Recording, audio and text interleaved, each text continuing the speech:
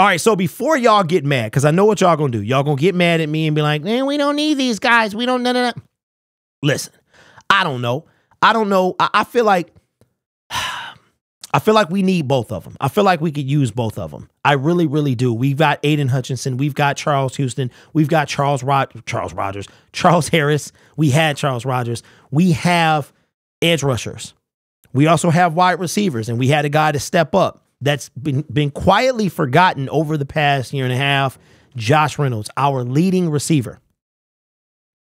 You know who name we didn't hear and we didn't even think about on Thursday? Jameson Williams. Like that's I thought about that this morning. I was like, wait a minute. In five weeks, Jamison will be back. In two weeks, he can he can come back to the team. Like it's just it's crazy. We've been so focused on the season. That's what the season does.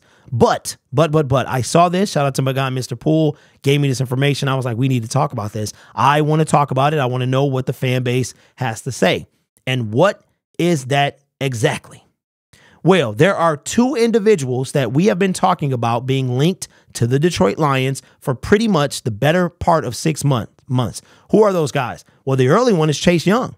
The late one is Mike Evans. Now, Tampa Bay and Mike Evans, no deal.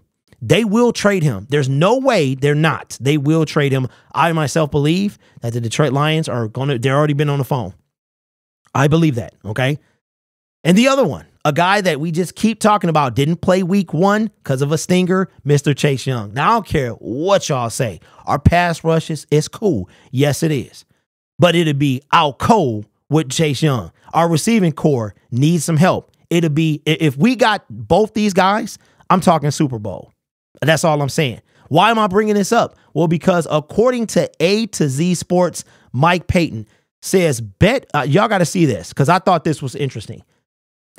Bet online, we've been talking about this quite a bit over the last couple of months. Bet online has the Detroit Lions with the best odds to land not only Mike Evans, but Chase Young as well. It says for Mike Evans, let's go back. It says Bet Online has the Lions set with 7 to 1 odds to be Evans' next home. The Chiefs Jets and Bills are in are in front of them. We talked not too long ago about the possibility of Mike Evans in Detroit. It's a pretty high possibility if uh, if Evans is unable to come to terms with the ideal that he's not going to get a lengthy deal from anyone due to him being 30. Now, what he's referring to is the fact that Mike Evans this is just a rumor because this was not confirmed by his agent nor him during the time that he was still talking about it. Okay. Is looking for three years, $80 million. Nobody's paying him that. Nobody is going to pay Mike Evans three years, three years, $80 million. The Detroit Lions will have more money next year than they had this year, than they had for a long time. Okay. I think I made a video about this earlier, maybe a week and a half ago, about why him not being traded during the offseason works out for any team trying to trade for him. His value is going to go down. It's going to go down. He's played in game one. He's probably going to play in the next six or seven games before the trade deadline. We will have to pay less his salary, and we also give up less. So Mike Evans, I have been screaming about that for a while. So that's that those odds. Now, the other the other person that's been quiet is Chase Young. He did not play week 1 due to the stinger and he's a guy that I believe has a, he's he's he has to me more potential than Jeff Okudah, who's injured by the way. But so that whole class is just that first round, early second round looking mighty suspect. Chase Young though, I feel like this guy, if he can just stay healthy, will be what he was drafted to be. Flashes of that year one um rookie defensive rookie of the year. That's what I think. But let's see what he has to say about Chase Young. Says the other guy, the other guy is another player that we've talked about. Commanders edge rusher Chase Young is expected to be moved at some point, and Bet Online has the Lions with three to one odds being the team to trade for him. The Bears are the only team ahead of the Detroit Lions. The Bears. Well, I know we can't let him go there. That's facts.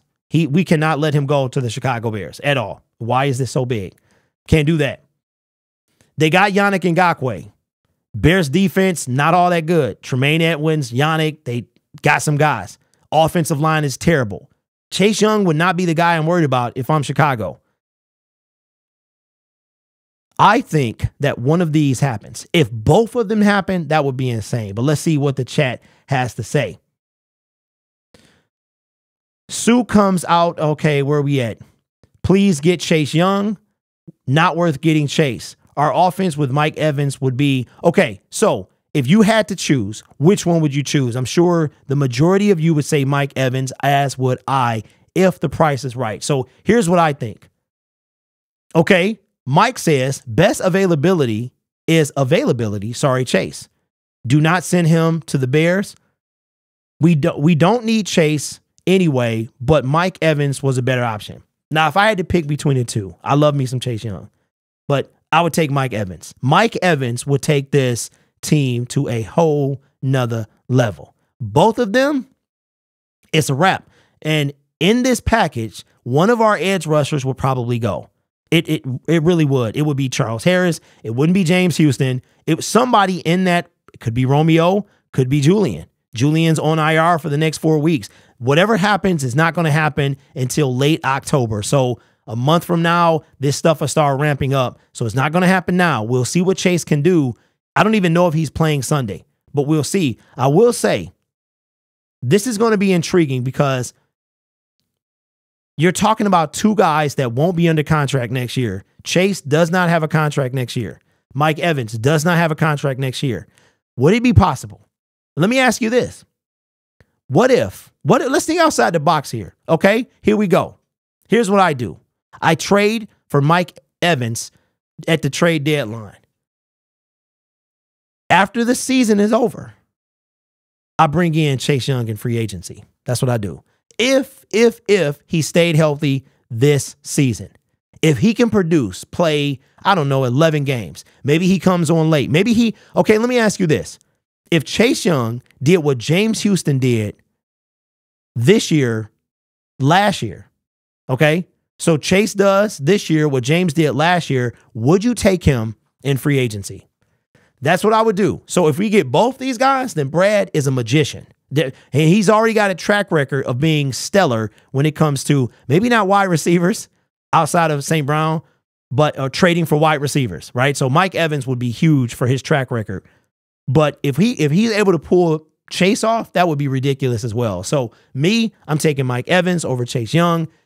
If I had to pick one, the other, if whichever one I didn't get, I would try to go uh, for in free agency. But let me know what you think's in the comments below. You guys are awesome. Take care of yourself and each other. And as always, go Lions. Oh, by the way, Minnesota should be 2 0 by the time you watch this. I'm sorry, 0 2 by the time you watch this video.